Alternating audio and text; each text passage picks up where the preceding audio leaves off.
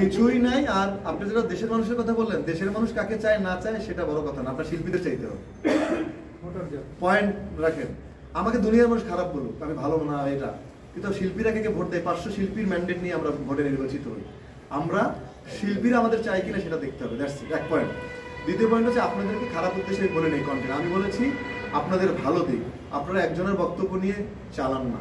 সেটা অনেক ভালো দিক এবং আপনারা আমাদের কাছে নেন। স্বাভাবিক? একটা জিনিসের সত্যতা যাচাই না করলে তো আজকে আপনারা জানতেন না যে আসলে কোর্ট কি বলেছে। স্পষ্ট বলে দিয়েছে দি বোথ পার্টি এই যে ক্লিয়ার আপনাকে আবারও বলি, the both party are maintain the status quo মানে তাহলে আর স্ট্যাটাস কিউ বোথ পার্টি কেন লিখলো দুইজনের কেউই এই নিষ্পত্তি না হওয়া পর্যন্ত আপনারা কেউ এই- পদটি শূন্য থাকবে, স্পষ্ট বলা কোর্টে ঠিক? শিল্পীরা সব আমার এক, কিন্তু এখন যেটা হচ্ছে, সেটা একদম আমার কাছে খুব খারাপ লাগছে যে মানুষ আসছে আমাদেরকে দেখে, আমাদেরকে খুব হেয় করছে। এই এই কথাটা চেয়ারের দিকে যখন অনেকের চোখ পড়ে যায়, তখন অনেক কিছু ঘুরে যায়। হয়তো বা ওনার কথা না, আমি এমনি বলতেছি হয়তো বা এই পটটার কারণে হয়তো আজকে এটা হয়েছে।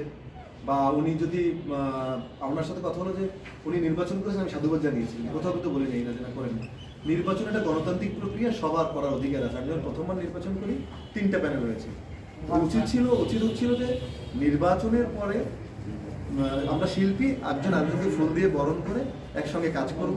আবার দুই মধ্যে তৈরি হবে। এটা হচ্ছে ম্যান্ডেট হওয়া উচিত।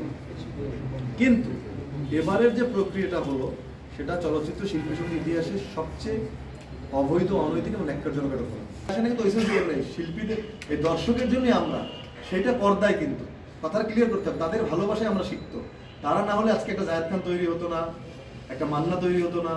এটা একদম ক্লিয়ার বিষয়টা হয়ে গিয়েছে, আমি বলেছি যে আমার এক সাংবাদিক বোনের সূত্র ধরে বলছি যে কে কাকে চায়, চেয়ারের কথা বলেছি। আসলে ওনাদের চাওয়ার চেয়ে বেশি ওরা দোয়া করতে পারেন বাট চাওয়াটা হচ্ছে বেসিক্যালি শিল্পীদের। শিল্পীরা বিপদে আপদে কাকে পাশে পায়, তাদের সহযোগিতার সময়, তাদের বিপদে কে হাত বাড়িয়ে দেয়, তাকেই তারা ভোট দিয়ে নির্বাচিত করে। আমি এটাই ক্লিয়ার করতে চাই আর দর্শকরাই আমাদের সম্পদ সাধারণ মানুষই আমাদের ভালোবাসে।